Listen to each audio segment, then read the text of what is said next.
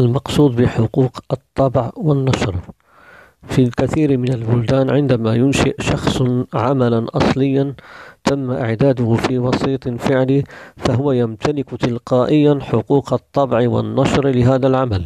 وبصفته مالك حقوق الطبع والنشر لديه الحق الحصري في استخدام العمل.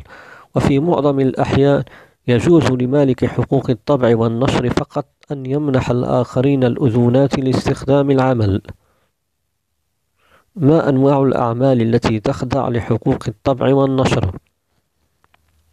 الأعمال الصوتية المرئية مثل العروض التلفزيونية والأفلام والفيديوهات على الإنترنت المقاطع الصوتية والمؤلفات الموسيقية الأعمال المكتوبة مثل المحاضرات والمقالات والكتب والمؤلفات الموسيقية الأعمال المرئية مثل اللوحات الفنية والملصقات والإعلانات ألعاب الفيديو وبرامج الكمبيوتر أعمال الدراما مثل المسرحيات والمسرحيات الغنائية.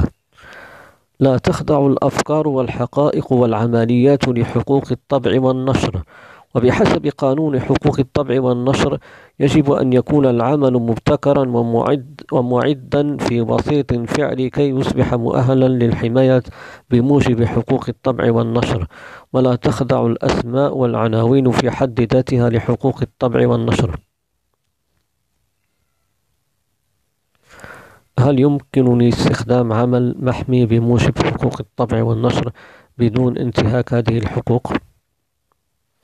نعم يمكن استخدام عمل محمي بموجب حقوق الطبع والنشر بدون مخالفة حقوق المالك وذلك من خلال اتباع مبدأ الاستخدام العادل أو الحصول على إذن لاستخدام محتوى يخص طرفا آخر في الفيديو الذي تنشئه.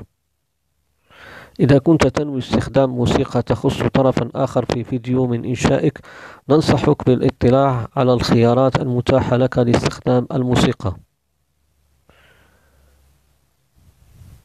يختار بعض منشئ المحتوى إن تاحت إمكانية إعادة استخدام أعمالهم وفقا, لمتطلبات معينة تسمى تراخيص.